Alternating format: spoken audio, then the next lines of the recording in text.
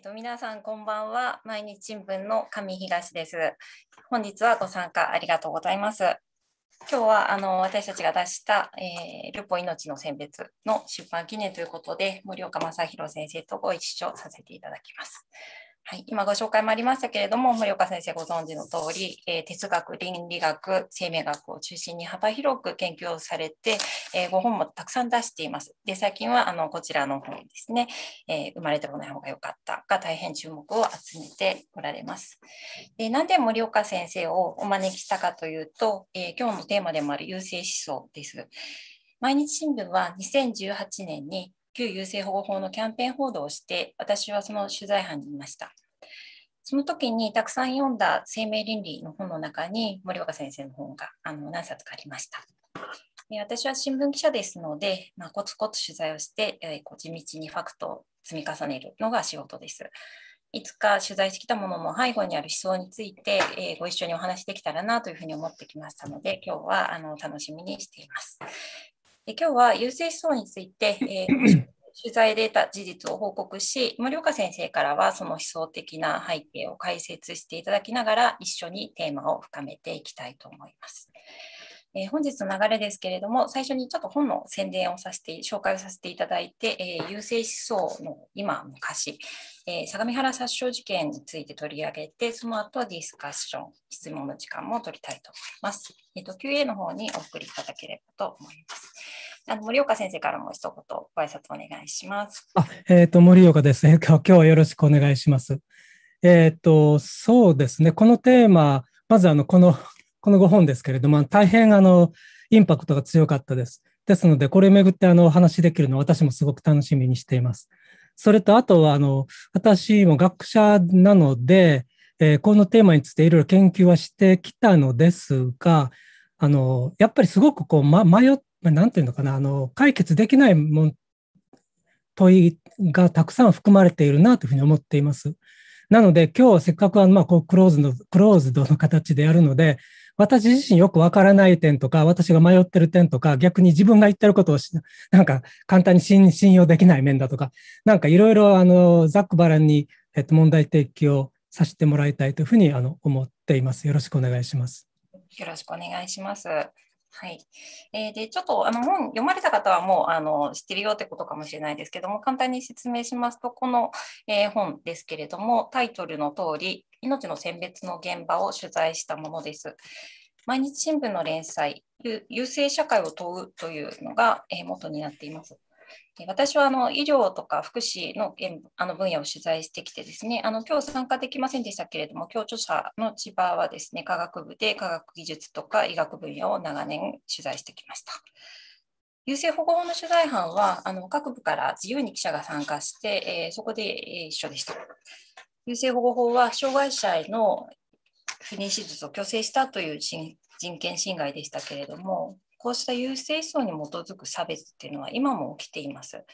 で今の問題にも取り組みたいというので始めたのが企画になり、まあ、文藝春秋さんが本にしてくださったということです。で内容はですね、ざっくり説明しますと、えー、っと、はい、1対1章は出生前診断ビジネスの話です。出生前診断の本ってたくさんあるんですけれども、まあ、本書はあのビジネスの実態に迫ったっていうのが特徴です。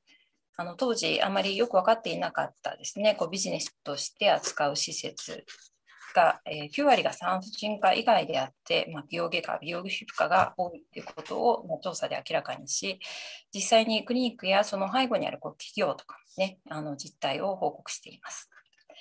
2章は障害者施設への反対運動です。これも全国調査を行って、まあ、現場のルポとか、あとはグループホームビジネスっていうのが背後にあってですね、えー、また影を落としているということも明らかにしています。3章は病院が現場です。生まれた子どもに障害があるときに、親が引き取らないケースや、標準治療を望まないという、えー、重い、えー、現実を取材しています。4章はゲノム編集の遺伝子改変がどこまで進むのか、でこの記述はですね、過去のまあ旧優生保護法とまあまた構図が重なる部分があってですね、あのそのあたりを解説しています。保障は着床前診断の話です。出生前診断と同様に今、拡大の方向にあってですね、えー、その倫理的課題について取り上げています。6章は相模原殺傷事件ですね。でこの部分は山百合園事件終わったのかという連載になっていて、紙面とウェブであの本書より先に掲載してですね、あの貧困ジャーナリズム賞というのをいただいています。7章はあのコロナ禍であぶり出された問題、そして優勢社会の先に何が起きるのかということを書いています。で8章は、えー、なんで、まあ、こういう優勢社会化が進むのかということについて考えています。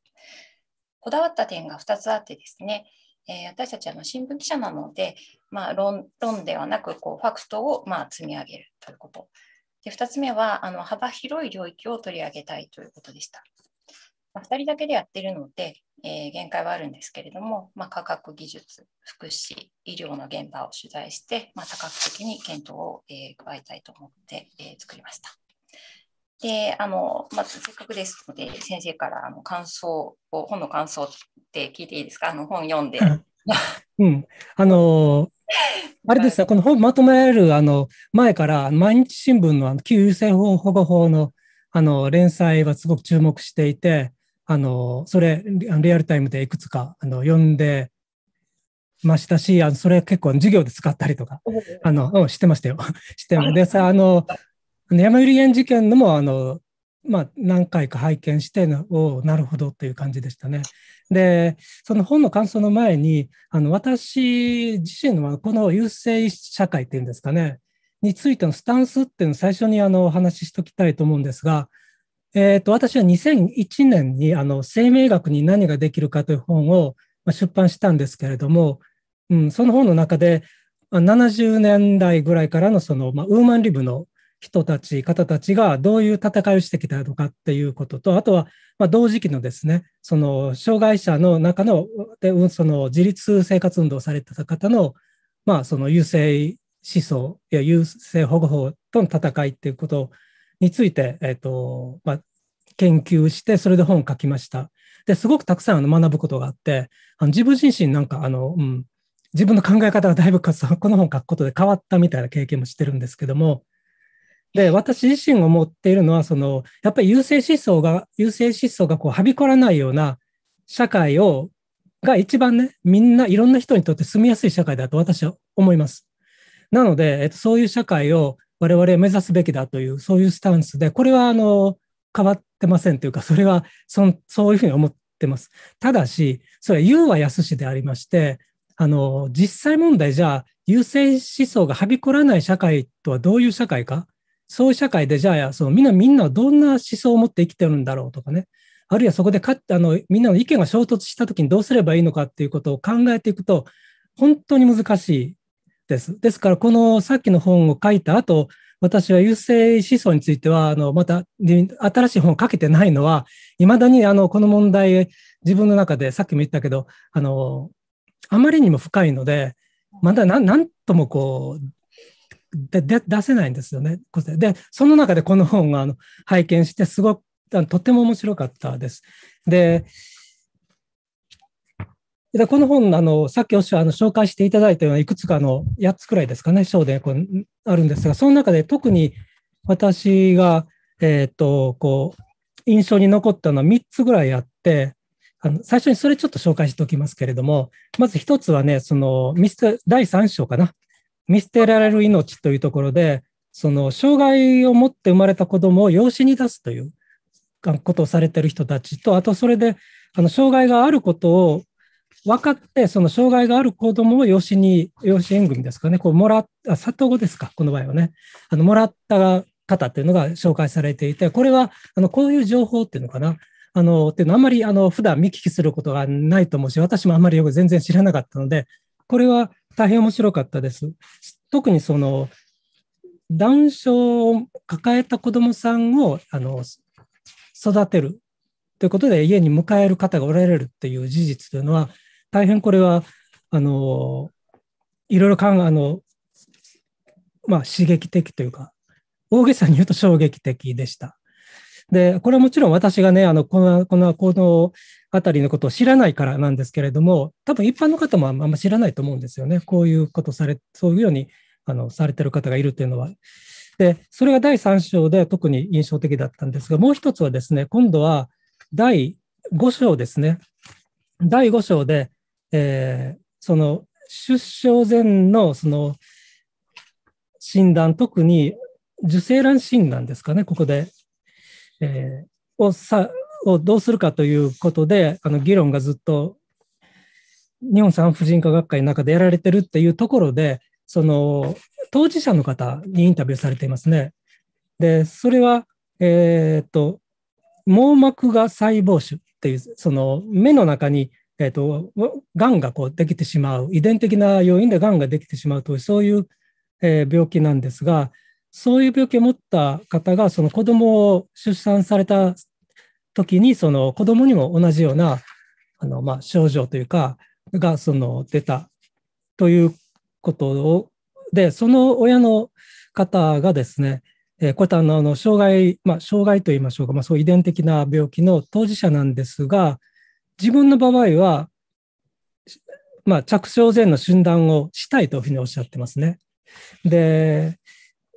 で、この方がおっしゃるには、もし健康な自分と、この病を持った自分のどちらかを選べるなら、私は迷わず健康な自分を選ぶというふうに、この方はおっしゃ、当事者としておっしゃっています。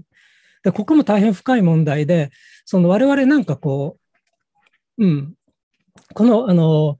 こう有性思想と生殖、あの生殖技術っていうふうに枠組みで考えると、こう技術を進めたい人対、その、その技術をにブレーキをかける障害を持った当事者っていうような、そういう枠組みでパッと思う考えちゃうことがあるんですけれども、あの、それこそ実際にこうファクトを見ていくと、当事者と言われる方の中にもいろんな意見があって、まさにあの正反対の意見が当事者の方からも出てくるというあのことがここであの一つよくわかると思いました。で、これも本当に難しいですね。で、えー、っと、